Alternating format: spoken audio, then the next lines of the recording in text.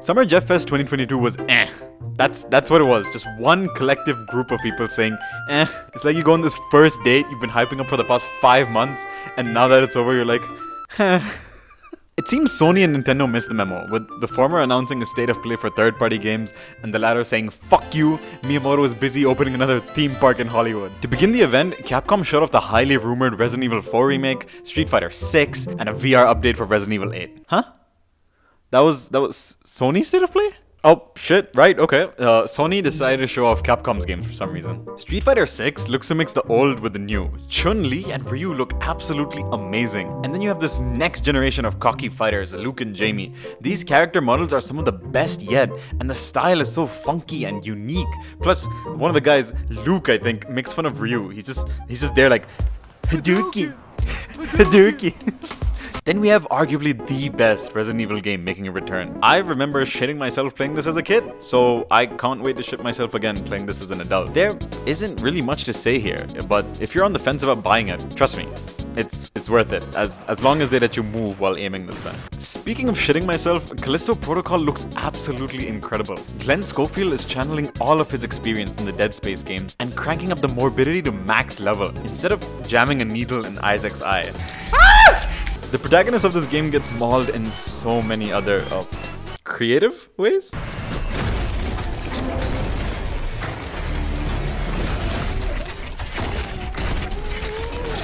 The cat game is coming to Game Pass, but not PC Game Pass, the other Game Pass. PlayStation made a Game Pass. Final Fantasy 16 showed off actual gameplay, and they had this real badass segment where it showed off all the summons, and this choir in the background was like, Phoenix, then we had Sonic Frontiers, and I'm gonna spend some time on this, but before I do that, I have a question. Which of these looks like a fan-made game, and which one looks like the game made by Sonic Team? Seriously, they're over it. They're done. This means that we have our hands full and won't be able to meet our original release window.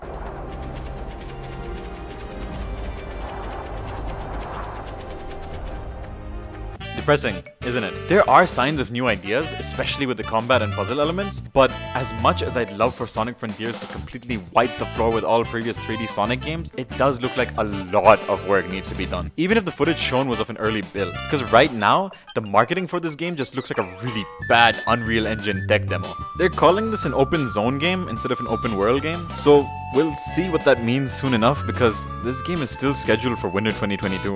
There were a few other sci-fi themed games, a few anime themed games, one sci-fi anime themed game, Modern Warfare 2, skip, Marvel's Midnight Suns, skip, Cuphead! Honestly, this game will probably fall into another long list of how you should be doing DLC. Studio MDHR put their blood, sweat, and tears into this expansion, not conforming to a release window and prioritizing their workforce, meaning we had to wait 5 whole years for this game. It looks like it's about to pay off big time. Speaking of long 5 year waits, do I need to say anything else? It's fucking Silksong. If you don't buy this game, shame on you. Last of Us is getting a remake after it was remastered less than a decade ago. So, yeah. Once again, the best part about the Xbox showcase was the fact that all the games seen would be available on Game Pass day one. Redfall looked like another basic co-op shooter, Minecraft had another Minecraft spin-off game, Morty heard my very poor impression of him and decided to make another game called High on Life. Chad saw Diablo 4 and thought it looked like shit until the title revealed itself to be Diablo 4. Plague Tale Requiem has more rats than ever. The samurai game said, Monkey King Wukong? Nah, long. Persona 3 and 4 are on Xbox so I can finally play them, and Persona 5 made it to Xbox before the Switch. And Joker is supposed to be a character in Smash. Kojima came out and said Death Stranding isn't on Xbox, but I'm making a new game called Meth Branding, and instead of delivering packages, you deliver meth. Capcom pretended like you didn't see the state of play and showed off the same games again, along with an update for Exoprimal, which looks fun for the first two weeks maybe, but I do like the dinosaurs. They dropped the demo for Sunbreak so I could get my ass handed to me by teleporting Malzeno. What the fuck?